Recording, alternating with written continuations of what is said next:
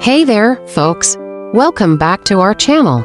Today, we're going to talk about an exciting IT job opportunity in Toronto for 2024. We'll be focusing on a remote IT job, specifically in the field of Microsoft 365 infrastructure consulting. So, let's dive right in.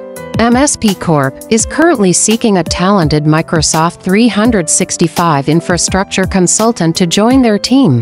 This is a full-time position, and the salary range is $100 $120 per hour. The job involves working with VMware, providing customer service, and managing Active Directory.